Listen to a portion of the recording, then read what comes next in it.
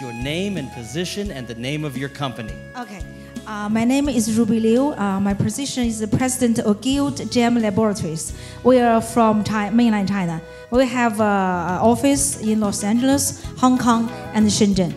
And we are opening in Bangkok very soon. How many times have you been to Brazil? Uh, this is my third trip. How has this trip been so far? Okay. Every time I come to Brazil, I love this country even more. So tell me, what stones have you seen so far on your trip? Okay. Uh, so far, I've seen emerald, tourmaline, aquamarine, morganite, kunzite, and of course, Paraiba tourmaline. Have you been impressed so far with the mines that you've seen in Brazil and the ability and expertise of Brazilian miners? Yes, I'm very impressed. I've been to uh, dozens of mines, to a lot of countries, but uh, Brazil is the most impressive country to me.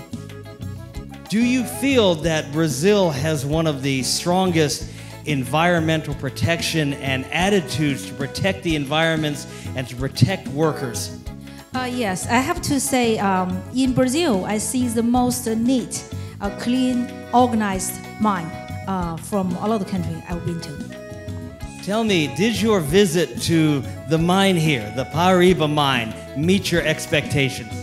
Okay, uh, it's not only meet my expectation; it's beyond my expectation. It's so so much fun. A lot of people say that Brazilian Paraiba, there's no mining, there's no production, there's no stones on the market. What do you think after what you've seen today? Okay, honestly, uh, previously, even I thought there are not so much uh, Paraiba tourmaline in Brazil. But today, what I see is very active mining going on. What do you think? The color of the Brazilian Paraiba, the fine color stones, is it the most impressive that you've ever seen for tourmaline? Yes, yes. Even from the rough, you can see it's neon blue. So intense and beautiful. How did you feel when you're inside the mine, Ruby, and you see you see the workers going through the gravel and sending it to the processing plant? Is there a sense of excitement? It's such an exciting and unique experience, and um, I feel honored today.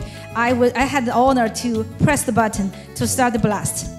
And what is your goal? Okay, you have a gemological laboratory, you have an educational institute of gemology. What is your goal regarding China and knowledge and sources?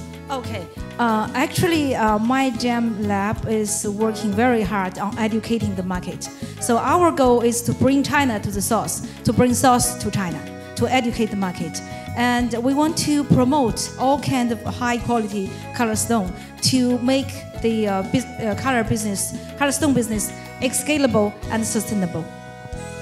And like you said, you've been all over the world. How do you find the Brazilian people and the people in the industry we've dealt with, like today with Clement and Sebastian?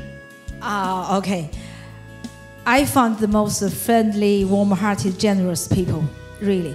That's in, from my bottom of my heart. Thank you very much.